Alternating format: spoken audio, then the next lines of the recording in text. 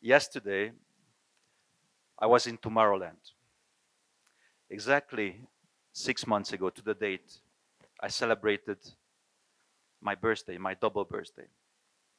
I joined a group of friends in Norway above the Arctic Circle.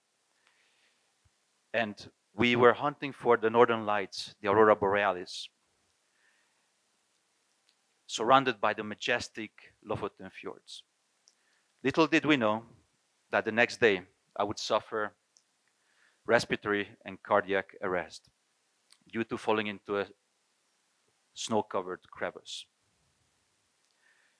Thanks to long years of breathwork, open water swimming, and the collaborative efforts of those around me, I managed to survive miraculously unharmed to give you my story today.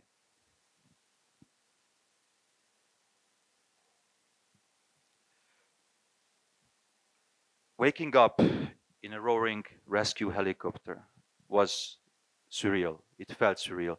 A bit like waking up probably from time travel or being injected in the matrix. But my awakening coincided with the crucible moment for all of us in this room, and perhaps for all of humanity. As you are seeing the advent of artificial intelligence, which could mark the dawn of a new age, a new era for our species evolution.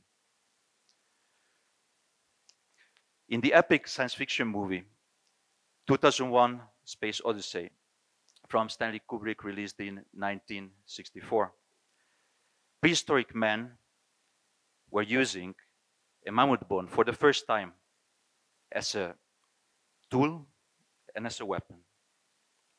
More recently, in a blockbuster movie, Barbie, little girls are given Barbie dolls for a similar purpose. Today, we all are given generative artificial intelligence to embrace it and use it as a tool, as a weapon, or as a toy. In the Isaac Asimov's Foundation series, which was a masterpiece in science fiction released in the 1940s.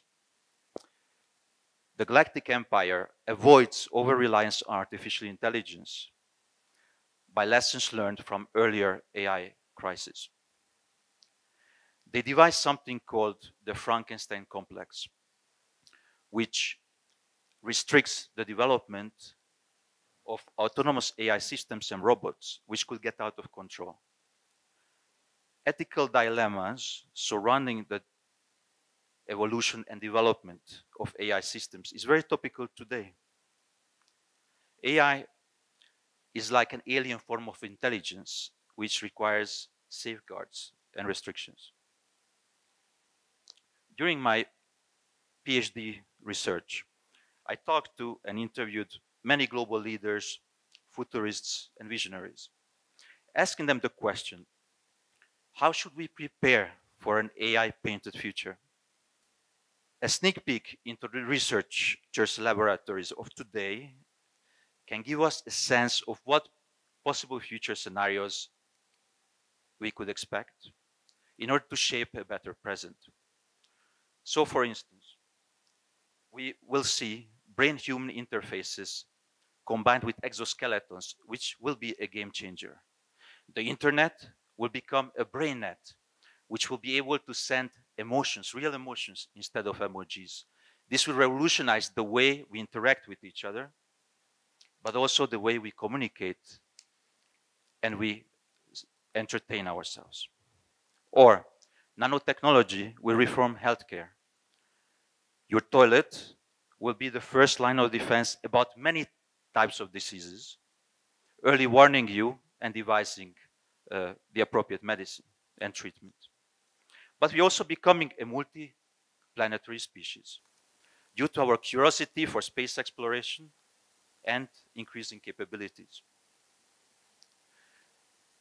self-replicating robots could help us build another human habitat on a different planet. But this level of change, unprecedented change, requires leadership in complex systems. Throughout the last 30 years, I have been researching the future of leadership and combining it with foresight techniques, which I like to call future intelligent leadership. So you might ask yourselves, how could I become a future intelligent leader? Well, striking the power pose, as you see on this picture, might be a good start, but probably not enough.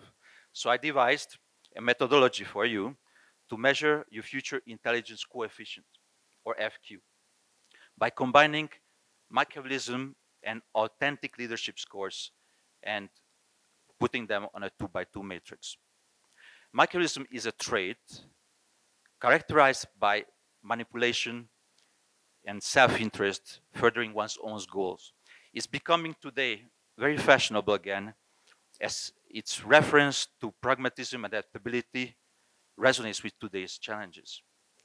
Authentic leadership, on the other hand, refers to a trait of people with high degree of integrity who are led by a moral compass, developing trust and building meaningful relationships within their teams.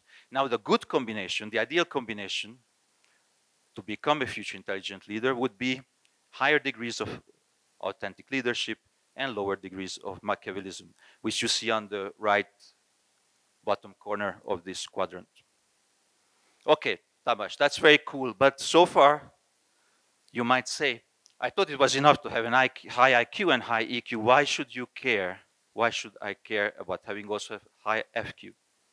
But great question, and let me answer it by giving you, sharing with you five easy steps to become a future intelligent leader. First step, you will need to be adapting lifelong learners in the face of rapid technological change. Throughout my career as a United Nations diplomat, I lived and worked across four continents.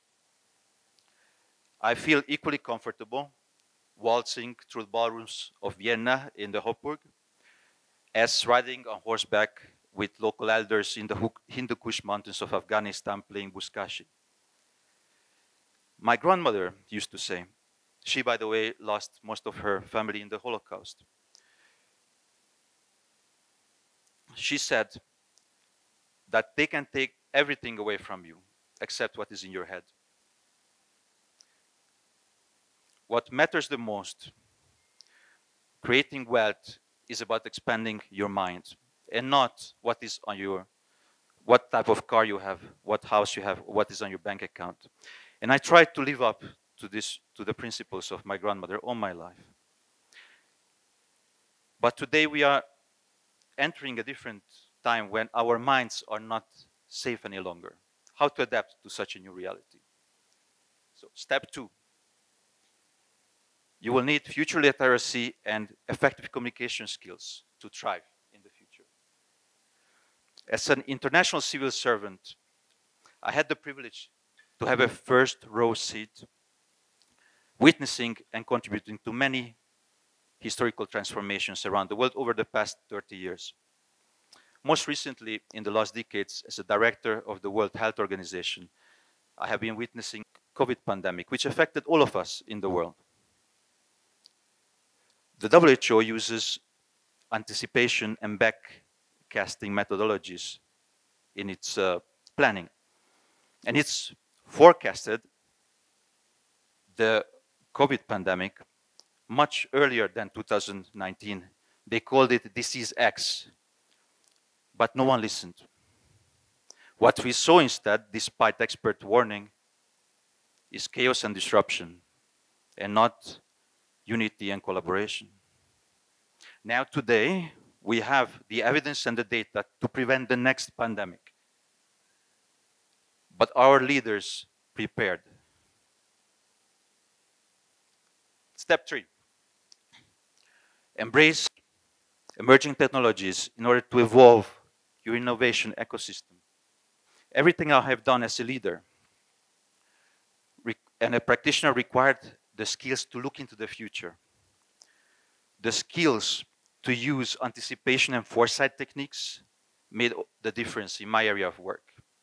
In the UN, we like to say, among others, that technology and science will connect us with nature instead of controlling it. Step four, embrace cross-disciplinary collaboration in order to solve complex problems. What I like to tell my students is combine your vertical subject matter expertise or hard skills with horizontal cross-disciplinary contextual knowledge or soft skills. A little bit like a T-shaped hammer with a practical grip, leverage strength, hitting the problems of the world on their head, gently playing the music. And finally, finally, step number five, value-based and ethical decision-making will be crucial in maintaining public trust. I personally practice mindfulness, presence, and breathwork every day if I can. It helped me during assignments to difficult and hardship hazardous places like Sudan, Somalia, Afghanistan, the Chechen border, or the Colombian jungle. I learned that values are like muscles, muscles. They need to be trained and used in order to keep them developing and strong. So in summary, in conclusion, I showed you the five main characteristics of future intelligent leadership. The more you see yourself on the right corner, the better prepared you are to lead into the future. My near-death experience has become a case study at the Norwegian Re Rescue Services. I spent more than 15 minutes buried under the snow. I suffered something called snow immersion suffocation, or SIS. I did not see the bright light when I was in the crevice. But when I woke up on the helicopter, I felt like stepping out of Plato's cave, seeing the world in a different light and broadening my perspective. My brain is more thirsty for wisdom and knowledge than ever before. Plato proposed that leadership is the duty of those who learn the skills and the knowledge because of their love for wisdom. My grandmother's, my late grandmother's words cling in my ears. I hope that one day in the future, by the good use of AI and harnessing our minds, I might be able to have another conversation with her over a cup of tea in the virtual world. But for now, and in closing, I would like to leave with you with this picture of future intelligent Filipino tarsiers and a small exercise, if that's okay. Relax in your seats and hold the hands of your neighbors if you can. And close your eyes. And let's breathe together. One, two, three in. One, two, three out. One, two, three in. One, two, three out. And then take a big breath. Big breath and hold it. And smile. S feel how you synchronize with everyone in the room and think of a future, a better future, a healthier future you want your grandchildren to inherit. Keep that thought, keep the smile, and hold your breath. Hold it, hold it, hold it. And you may breathe normally again, open your eyes. Keep the smile on your future intelligent faces and keep breathing. Thank you.